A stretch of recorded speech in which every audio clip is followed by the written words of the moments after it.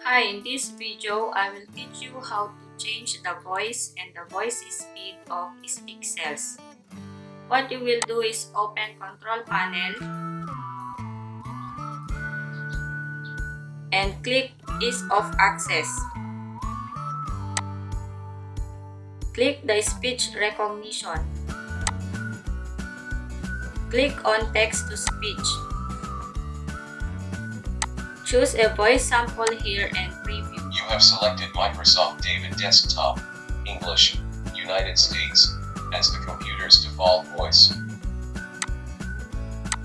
You have selected Microsoft Zira Desktop, English, United States, as the computer's default voice.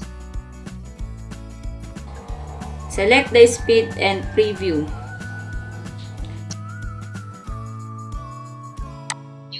Microsoft Zira Desktop, English, United States, as the computer's default voice.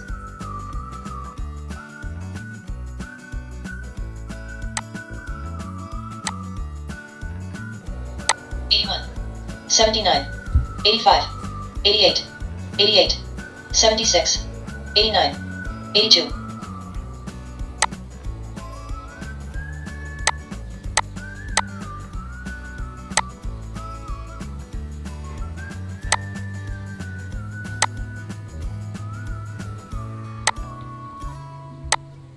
Eighty-five, eighty-three, eighty-four, eighty-two.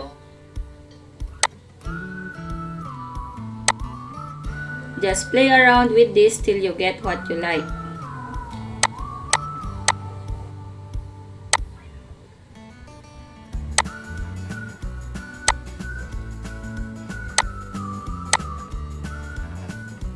Eighty-three, 84, 84, 83, 88, 82, 86, 84, 86.